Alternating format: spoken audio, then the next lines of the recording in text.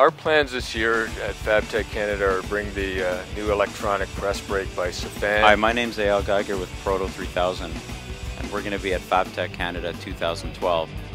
We're going to be showcasing our MetraSCAN and HandyProbe technology, as well as HandyScan technology by Creaform. This is great for all metrology applications, inspection, and reverse engineering.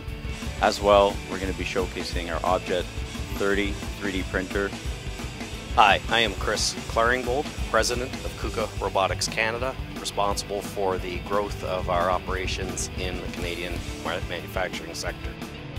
KUKA Robotics Canada will be showcasing a variety of products for the manufacturing and metalworking industry, including our arc welding and material handling robots. Um, one of our new generation hollow wrist robots will be on display, as well as uh, a display showing cooperating robots in uh, a multi-robot cell. Hi, I'm Daniel Lawson. I'm the Sales and Marketing Manager at Multicam Canada. At FabTech Canada, we're going to be showcasing a Multicam 3000 plasma system with an HPR 260 XD high definition plasma unit, as well as a Multicam 3000 water jet system with a KMT 90,000 KP 90,000 PSI intensifier unit.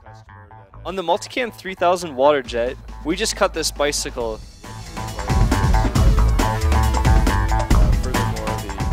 I'm uh, James Janateas. I'm the president and founder of Cimetrix Solutions. Uh, Cimetrix uh, represents uh, Stratasys additive manufacturing technology uh, across Canada. We'll be showcasing uh, the new Fortus 250 MC, which is a hybrid of our advanced additive manufacturing technology and a combination of our 3, 3D printers, along with our personal desktop 3D printer, the uPrint.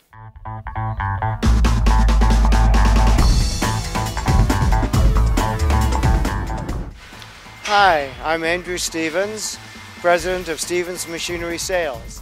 Across Canada, we sell new and used machines to all the sheet metal and fabricating shops. One of the machines we're going to be showing will be this uh, cone servo drive press brake.